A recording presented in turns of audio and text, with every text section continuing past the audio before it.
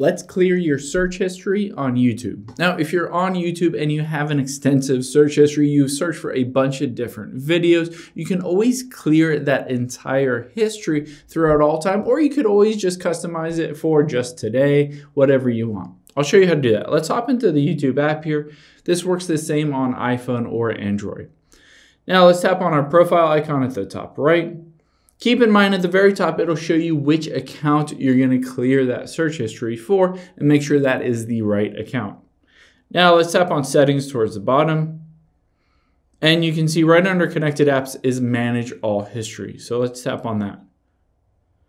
Now, all you have to do, you can see this delete button on the right. All you have to do is just tap it and you can hit delete today, delete a custom time range, or you can hit delete all time. And basically this will say, are you sure you want to delete everything? This will delete your entire search history and your entire watch history.